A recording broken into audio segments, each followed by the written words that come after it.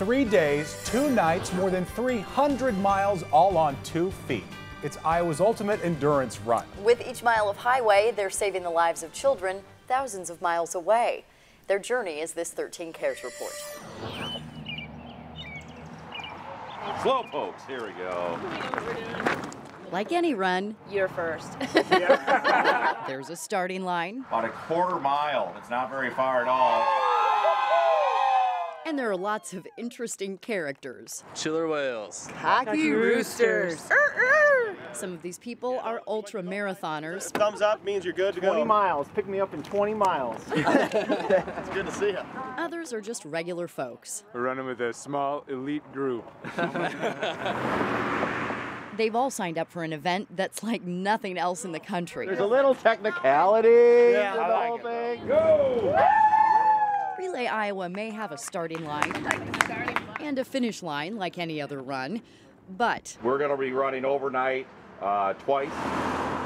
it is the only two night overnight relay.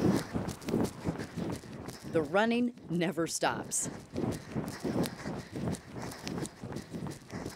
194 people on 18 teams are running border to border, This is where ours gets interesting.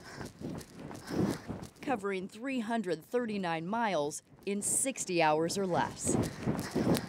This is kind of like uh, climbing Everest or something. Nobody cares how long it took you. They just bragging rights to say I did it. Each team decides just how tough it will be. The maximum number of runners on a team is 12.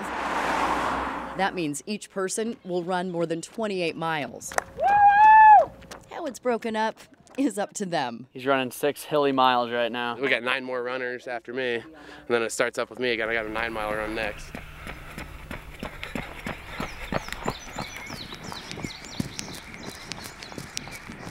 By the time the sun's coming up on day two, bodies are starting to break down. I'm feeling my shins. Your body's starting to shut down.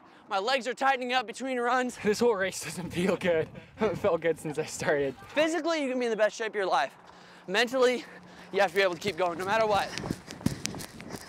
But the brain Uh, uh, also breaks down when it's not getting any sleep. let's just call it 125 miles to go. You take what you can get. I mean, I took a 20 minute nap. Legs a little tired. The hills yesterday killed us. Fatigue may be part of what leads to this.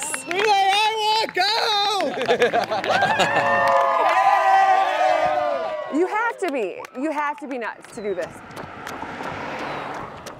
During the day, the scenery helps the miles go by. For me, it's the countryside. It's beautiful. At night, it's a different story. I am in the middle of nowhere. I'm not even sure where I'm at right now. You hear noises. You hear animals coming for you. Bullfrogs. Keep you company. Go, go, go, go, go! Car!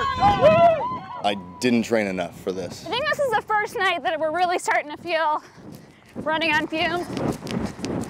Something other than training and mental toughness is keeping people going at this point. At the end of the day, we're running for the kids in Africa and it's a great cause. So something you can feel good about. You see, even though Relay Iowa has a starting line This is more than a run. and a finish line, Yeah, it's super cool. It's a really good cause. Great job, guys! it doesn't just span Iowa, it spans the globe.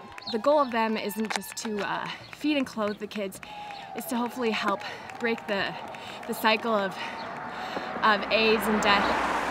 Because at least 10% of the people in South Africa have the disease, and millions of children have been orphaned. All of us are small town Iowa folk, born and raised, and just all come together and, and do something we love to help other people. Just by running, they're raising money for an orphanage started by Iowans. This is Kamahalo. Kamahalo is nine. He's our oldest boy. You say hi? Hi, Iowa. It's not often people get to meet the kids they're helping Can you see that out there? when those kids are half a world away. Thank you, Nana's. Good job. And these faces make the shin splints, the lack of sleep, All right. and sheer madness all worth it. You're glad it's done, but in a way, you're you know you wish it wasn't done. You know that all these things, something good comes out of it. Not only for you, but for somebody else. They're yet another reason Relay Iowa isn't just any other run. The cause is much bigger than that. It's much bigger than the state of Iowa. It's just, it's a much bigger picture. If you want to help the cause, just visit our website and click the Seen on 13 tab. We've posted links for Relay Iowa and the Hope Orphanage. You can also watch our original story to learn a little bit more about Bill Rain, the race director, and why he started the run. He's crazy. He's done Yeah. Ironmans and all sorts of stuff. He's a fascinating story himself. How much did they raise for that orphanage? They raised $15,000 just this year. We're talking about forming a Channel 13 team. You guys want to do it? Yes. I say yes. I will be all for the team. You'll support okay, us, you can be our driver. I will be the driver. Speaking of which, though, I have to thank um, Eli Gardner, Roger Riley, Oh, yeah. Randy Schumacher, and uh, Matt Van Winkle. They're the photojournalists who really did the heavy lifting They on put this story. they put in the late nights and the early Oh, my mornings on this story. yeah, Wow. so a And lot they, of hard they work. shot it really well. I mean, beautiful. that is some beautiful scenery as Yeah. well.